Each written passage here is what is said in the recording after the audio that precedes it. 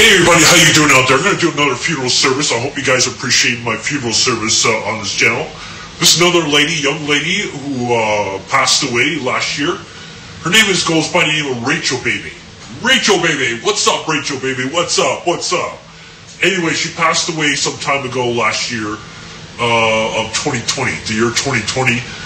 Um, they, I think it was 20th. What? Yeah, yeah. 20, uh, 20th day, 11th month. Uh, so that would be November 20th. So there you go, folks. This lady passed away. Her name is Rachel Baby. Rachel Baby. Um, there was a it was a live stream live stream funeral service. I'm gonna put it on the title here.